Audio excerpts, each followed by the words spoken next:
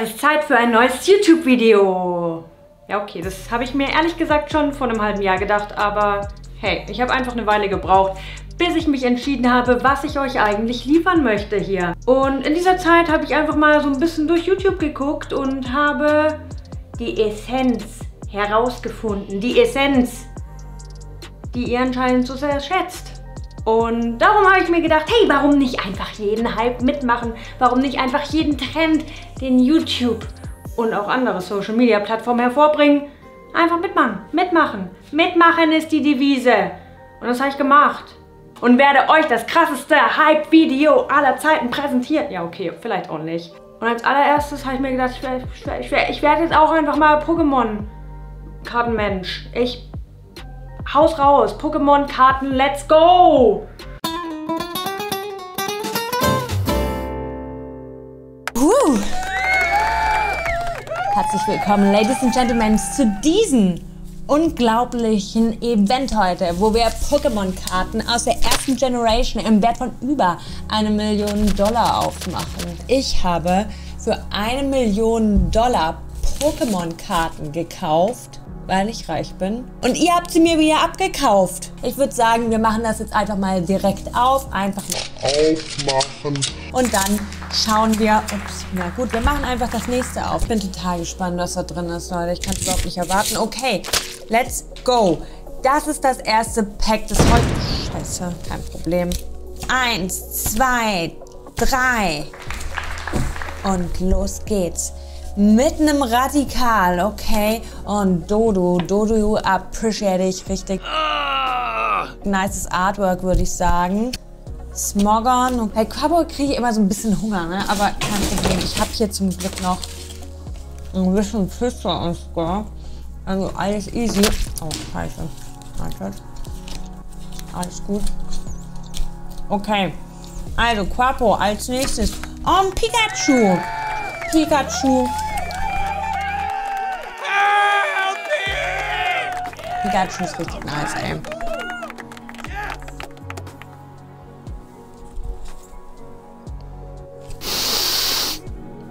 Riecht auch nice. Pikachu liebe ich. Okay.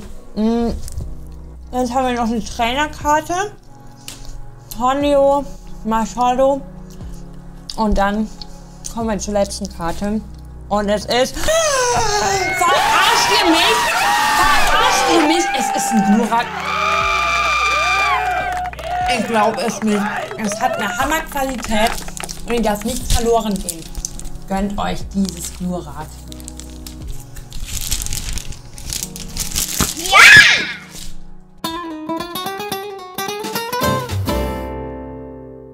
Hey Leute, ich habe euch ja erzählt, dass ich auswandern will. Und heute löse ich auf, wohin ich ausgewandert bin. Nämlich nach oh, Dubai. ja, ich bin jetzt in Dubai und ich zeige euch einfach mal, was man hier alles so Tolles machen kann, wenn man einfach mal die Nase voll hat von diesem öden und tristen Deutschland. Also kommt einfach mit. Dubai ist so schön. Guckt euch doch mal hier um. Dieser Strand ist nicht unfassbar schön. So, ich bin jetzt wieder auf meinem Hotelzimmer und ja, ich bin völlig fertig jetzt. Und darum habe ich gedacht, ich lese einfach mal eure Instagram-Fragen. Und da ist zum Beispiel eine Frage, wie fühlst du dich als Frau in Dubai? Und ich kann euch schon mal eins sagen, ja, also ich habe mich noch nie irgendwo so sicher gefühlt wie hier momentan. So, eine andere Frage war noch, was sagst du zu Prinzessin Latifa? Ähm, ich habe nicht so viel Disney geguckt und das letzte, was ich gesehen habe, ist die Eiskönigin. Darum weiß ich jetzt nicht so genau, was du meinst. Aber ich gucke mir das auf jeden Fall nochmal an und dann kann ich bei meiner nächsten Story darüber reden, okay? Warum bist du aus Deutschland weg und wohnst jetzt in Dubai? Ich bin halt aus Deutschland weg, weil mir das einfach so ein bisschen aufs Gemüt geschlagen ist. So das Ganze mit dem Lockdown und dann halt auch noch schlechtes Wetter und so. Und da habe ich einfach gedacht, you have to live your life. Wenn nicht jetzt, wann dann? Ne? Man lebt ja nur einmal und darum bin ich nach Dubai gegangen. Was magst du am liebsten gerade in deinem Alltag in Dubai? Am allerliebsten mache ich gerade Fotos für euch. Bevor wieder ganz negative Kommentare in den Kommentaren kommen. Ja, in Dubai ist nicht alles perfekt. Ja, aber sind wir doch mal ehrlich, in welchem Land ist schon alles perfekt? Und ich finde, darum ist es auch okay so. Also ich wünsche euch ganz viel Spaß und bis zum nächsten Mal. Tschüss!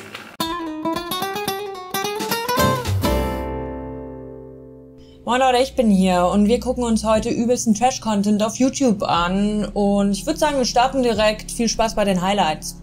Okay Leute, wir sind jetzt angekommen bei uns im Haus und äh, ist total insane hier. Es ist richtig hammermäßig so. Und äh, hinter mir seht ihr schon mal meinen Garten. Und äh, den zeige ich euch dann aber lieber bei der Haustour nochmal richtig. Guckt euch diesen Garten an. Das ist richtig hammermäßig, oder? Das ist ein hammermäßiger Garten, ja. Mehr dazu gibt's aber dann auf der Haustour. Die kommt morgen raus. Oder auch nicht. Leute, und das ist der Kühlschrank, ja. Das ist der Kühlschrank, den habe ich jetzt schon eingeräumt, obwohl der noch übelst dreckig war, aber äh, ich will das jetzt noch nicht liegen alle. Leute, was soll ich dazu sagen? Alles, was ich sagen würde, wäre negativ. Das hier, die erste Scheiße, die erste Scheiße hier im neuen Haus. Die Leute, die sind übertrieben nice und äh, ich habe Es ist zum Glück überhaupt nicht laut da. ziehe die Scheiße von meinem Mund und ich schmeiß die jetzt auf zum Passanten hier, ja. Hast du gefilmt? Hast du gefilmt? Ich mach das aber nicht. Ich mach das nicht wegen dem Geld, ja. Ich, ich fasse das nicht. Ich fasse das nicht. Wir machen einfach weiter. Jo Leute, heute gibt's die heftigste Real-Life-Story, die ihr je gehört habt und die je passiert ist auf der ganzen Welt. Ich bin nämlich gestorben. Safe Call gestorben. Real Talk jetzt. Und es fing alles so an, dass mein Herz so richtig stark gehämmert hat in meiner Brust, ja. Und ich meinte so, ey, du musst den Krankenwagen anrufen. Und ihr müsst euch vorstellen, die wollte gerade eigentlich kacken gehen, ja. Und darum meinte sie so, ey Schatz, muss es jetzt wirklich sein? Und da meinte ich so, help, help, I'm dying. I think I have a heart attack. Help, help! Turn up! Na, da, da kann was nicht stimmen. Da kann irgendwas nicht stimmen, ne?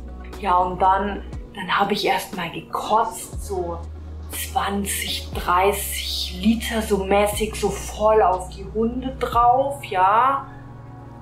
20, 30 Liter, oder? Ja, mindestens 30. Ja, oder noch mehr sogar. Aber Leute, ey, ich sag's euch, es war so eine richtig heftige Nahtoderfahrung. Ey, du hast dir noch gar nicht erzählt, dass unsere Hunde seitdem nach Chicken McNuggets riechen. Ja, das, äh, das ist eine andere Geschichte dann. Das erzähle ich euch dann so bei 50.000 Dislikes. Da lade ich wieder einen neuen Vlog hoch zu diesem Thema. Ja, und für alle Hater, die das jetzt irgendwie nicht glauben, weil die sagen, ja, das ist gelogen und das stimmt nicht oder der erzählt nicht die Wahrheit, habe ich hier den Beweis, ja. 3400 Euro habe ich gezahlt Das ist auf jeden Fall ein Beweis, ja. äh, für diesen Krankenhausaufenthalt und das ist der Beweis. Und äh, ja, ansonsten bis dann. Tsch- Tschüss. Ich glaube, da stimmt irgendwas nicht. Vielleicht waren da Drogen im Spiel, vielleicht auch nicht. Detektiv Conan ist weiterhin am Start. Bei welchem Clip seht ihr mich denn? Ich weiß es ehrlich gesagt nicht, aber ihr könnt es mir ja in die Kommentare schreiben und dann weiß ich's. Ansonsten würde ich mich freuen, wenn ihr das nächste Mal wieder einschaltet oder mal bei mir auf Twitch vorbeischaut. Da streame ich nämlich drei, vier, viermal die Woche. Ja, kommt vorbei. Adieu, tschüss, macht's gut. Okay, adieu. Keine Ahnung.